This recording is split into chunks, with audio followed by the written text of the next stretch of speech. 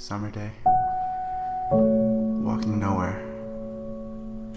I am young and I am reckless.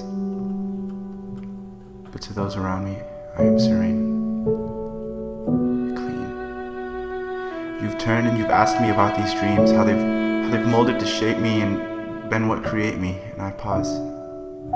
I turn my gaze to the floor, staring at the cracks that riddle the sidewalk.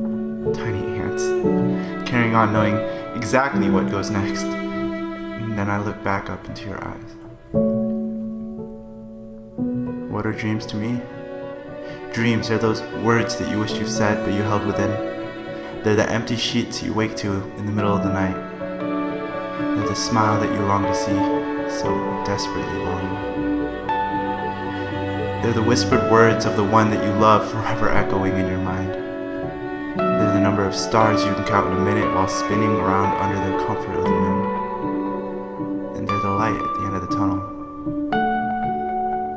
But they're the darkness in the bottom of your heart. Dreams. They are neutral things. They can never die,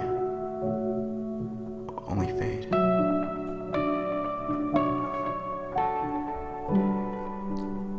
I see your lips. Inhale, exhale.